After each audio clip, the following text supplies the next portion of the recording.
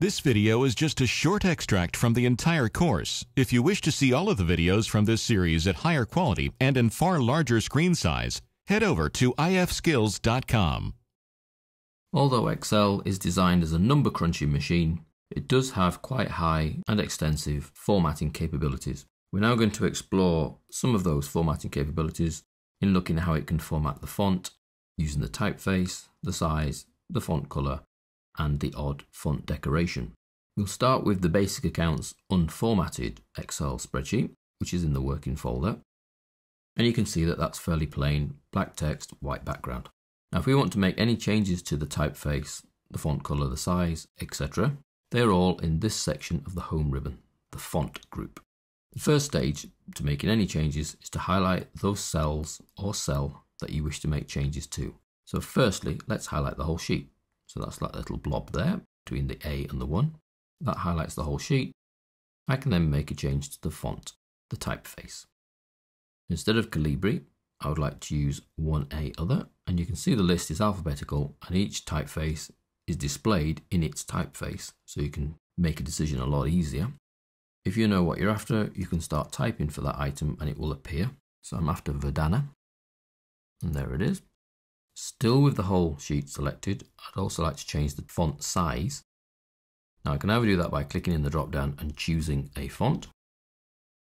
And at the minute it's 11 points. Or I can use the go larger, go smaller icons. So that will go up one step at a time. That one will come down one step at a time. So I was at 11, I'm now at 10 and that looks a bit more presentable. If I would then like to make further changes to different cells, then I only need to select those cells. So if I select cell A1, which is our heading cell, and I can push the size up using A. Let's take it all the way to 24 points. The Q headings, I might want to increase those slightly, so I can multiple select these cells, clicking on the first one and then control clicking the others, as we've seen earlier, and push that up also to 14 points. And then each of the months, Let's push that up to 12. So we have our headings much bigger than the rest of the page. So to change the font size, typeface, select those cells you wish to change. Typeface is here, font size is here, or quick up and down are here and here. Now you may wish to change the color of certain cells, the color of the text in certain cells. Let's do that with the heading. We select the cell that the heading appears in. This is our color button. It has a drop down arrow and you can pick colors from the list here. And you can see that as you're moving the mouse the colors change behind. So that saves you clicking choosing OK coming back clicking choosing OK as you had to do in the old days. This is now live formatting.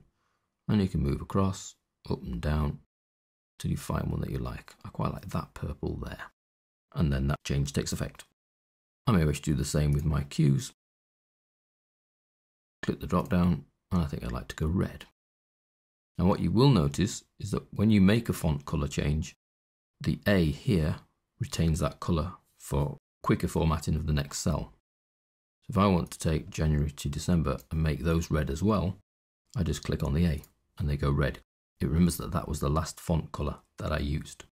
Now as well as typeface, size and color, I can add small formatting enhancements. Those small enhancements are bold, italic and underline. So I need to again select the cells I wish to affect. So that's that one, that one, that one, and that one. So that's using the control click. B makes them go bold, so fatter.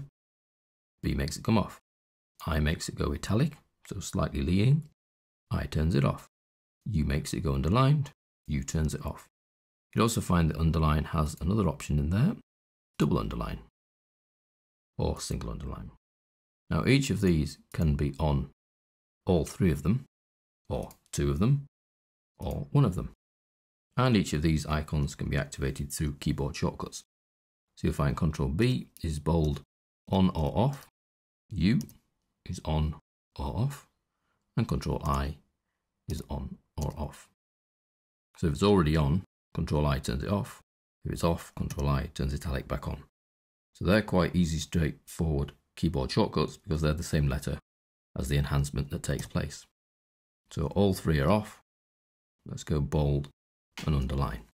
Now you can also access all these font settings by going into the font dialog box, which is accessed through this little icon here to the bottom right of the font group. And you can see in here, there's where you change the typeface, style, so that's italic, bold, or bold and italic. Underline has its own drop list, color has its own drop list, size is changed in here. The only difference between this and the ribbon is that every change needs to be followed by an OK so you can see if it works. Whereas on the ribbon, you can just try it out and keep trying and experimenting very, very quickly. Now you get two extra options here that aren't available on the ribbon, and that one is strike through. And you can see in the preview that just puts a line through your text for demonstrating that perhaps something is wrong or crossed out.